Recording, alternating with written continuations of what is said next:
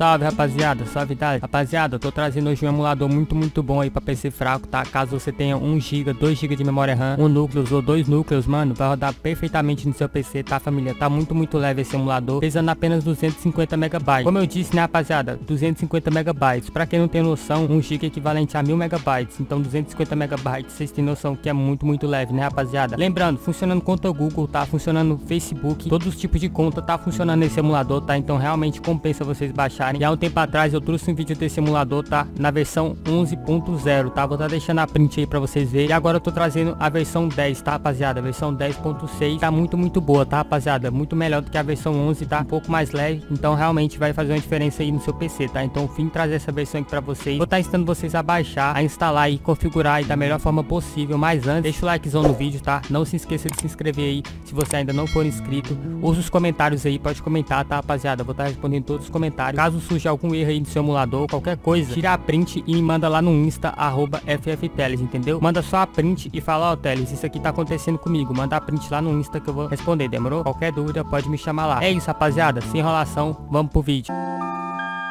Rapaziada, vou estar tá deixando o link aí na descrição pra vocês, tá? Não tem nenhum anúncio, mano, é link direto. Vocês vão ser redirecionados aqui pro site do Mediafire, tá? Rapaz, vocês clicar aqui no site aqui, vir pro site, podem ver que o emulador tá aqui, tá? Pesando apenas 257 megabytes. Isso é muito, muito leve, tá, rapaziada? Então vamos fazer o seguinte, clicar sobre download, deixa essa, essa janela caso venha aparecer. E aqui embaixo vocês vão ver que vai começar a efetuar o download aqui, ó. Baixar pra gente, tá? Vamos aguardar, que é bem rápido, tá? Já finalizou aqui pra gente. O que que eu vou fazer aqui, rapaziada? Eu vou jogar na área de trabalho pra facilitar pra vocês, demorou? Rapaziada, joguei aqui na área de trabalho aqui para vocês, tá? E agora é o seguinte, família, vamos fazer o processo de dar dois cliques sobre, tá? Espera.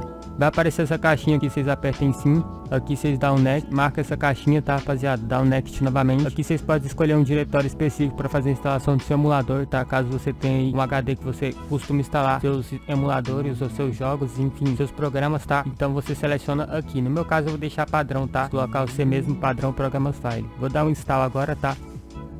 Finalizou a instalação aqui, rapaziada. Vamos simplesmente para desmarcar essa caixinha e dar um finish, tá? Que vocês vão ver que vai ser criado aqui dois ícones pra gente, tá? Esse aqui eu vou até deletar é do instalador. Vai ter esses dois ícones pra gente, tá, rapaziada? Vai ter esses dois ícones. E o que, que é esse ícone aqui, rapaziada? Isso aqui é basicamente os ajustes do Droidax. Então, se eu dar dois cliques sobre ele, podem ver que vai abrir aqui ajustes, tá? Ou seja, que eu posso configurar, é... Deixa eu adicionar uma nova aqui, ó. Aqui, clicando em editar aqui, vocês podem colocar o nome e tal. Aqui, vocês dão um start, clonar. Isso aqui é basicamente ajuste, tá? Vamos usar ele? Não vamos usar, tá, rapaziada? Então, eu poderia até dar um delete sobre ele e deixar só isso aqui, que, que esse aqui que vai importar. Dê dois cliques sobre ele aqui então sim.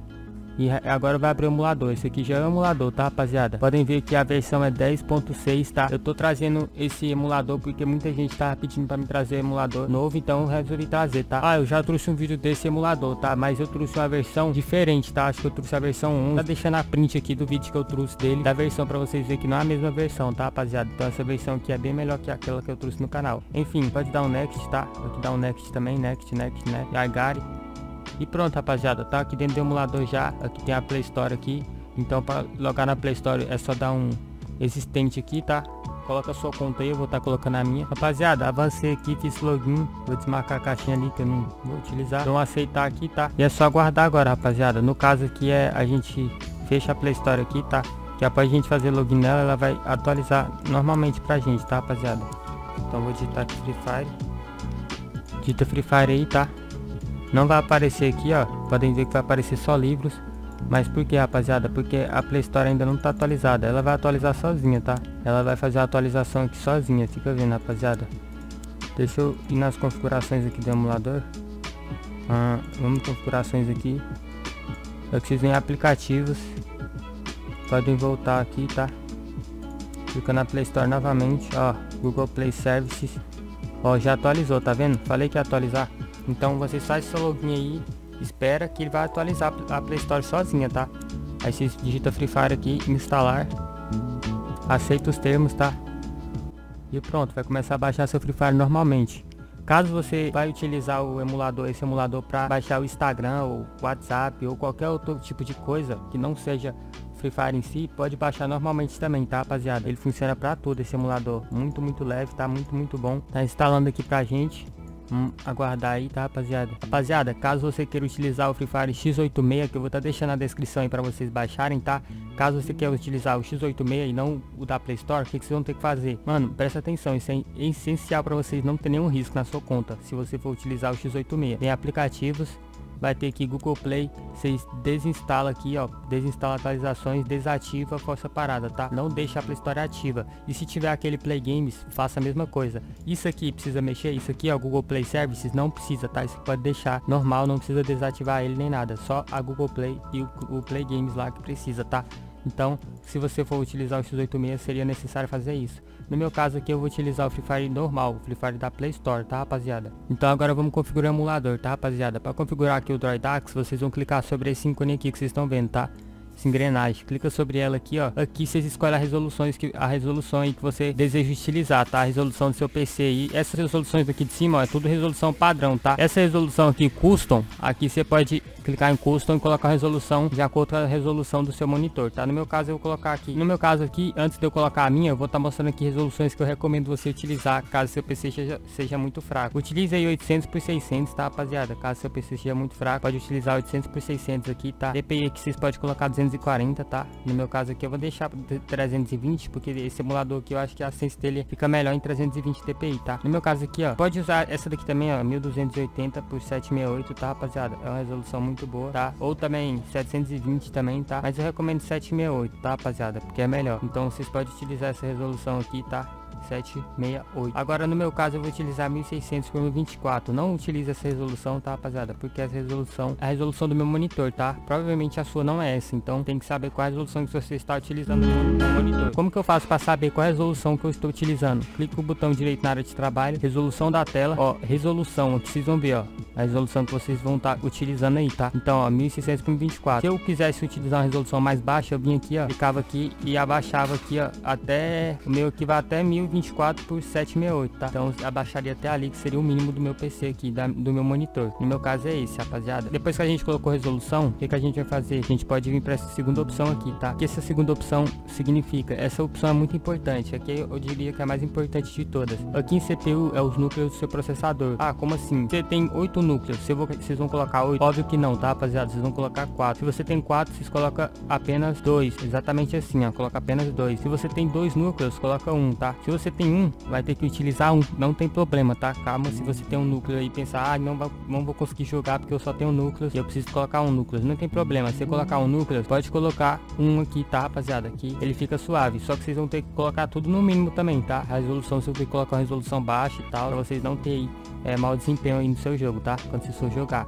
Enfim, no meu caso aqui, ó, é, eu vou colocar, vou deixar dois núcleos, tá? Vou, deixar, vou deixar dois núcleos aqui. Memória RAM. Memória RAM aqui é basicamente a mesma forma ali do CPU, tá? Do, dos núcleos. É a mesma analogia de que você tem que usar metade do que você tem.